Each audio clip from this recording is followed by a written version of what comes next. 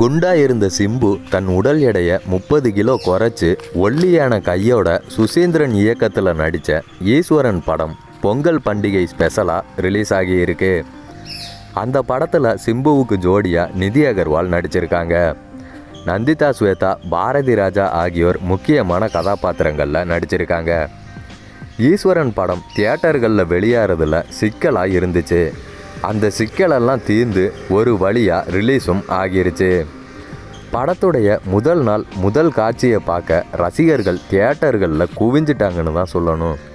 சிம்புவுடைய நண்பன் மகத் தங்கை இலக்கியா நிதி அகர்வால் மாநாடு பட தயாரிப்பாளர் சுரேஷ் காமாட்சி ஆகியோர் ரசிகர்கள் கூட சேர்ந்து ஈஸ்வரன் படத்தை என்ஜாய் பண்ணியிருக்காங்க.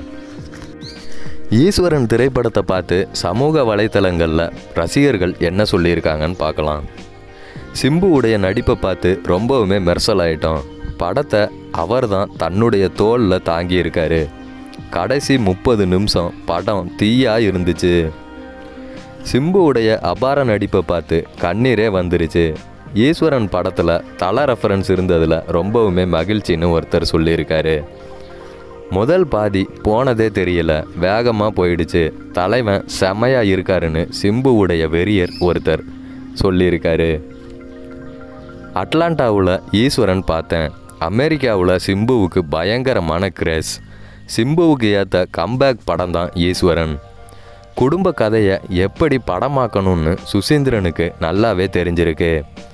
சிம்பு பாரதி ராஜா ரெண்டு பேரும் சேர்ந்து வர்ற காட்சிகள் அருமையாக இருக்குது குடும்பத்தோடு சேர்ந்து பார்க்க வேண்டிய படம் கண்டிப்பாக பிளாக் பஸ்டர் தான். வந்துட்டான் தலைவன் தீயா திரும்பி வந்துட்டான். ரெண்டாவது பாதியில் கொஞ்சம் இழுப்பது போல இருந்தாலும் படம் ரொம்பவே நல்லா இருக்கு ஓவர் ரியாக்ஷன் தான் படத்துடைய மைனஸ்.